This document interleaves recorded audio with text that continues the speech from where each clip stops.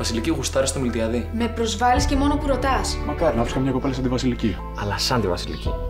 Όχι τη Βασιλική. Θες να πλακωθούμε τώρα; Αν είναι να μείνω για πάντα εδώ μέσα κλεισμένη, πες το μου να το ξέρω. Είσαι αχάριστη. Κυρία, απλώ την ανέχομαι επειδή πήγες και την πάντρευτηκε. Μάλλον κόφτω αυτή τη στιγμή!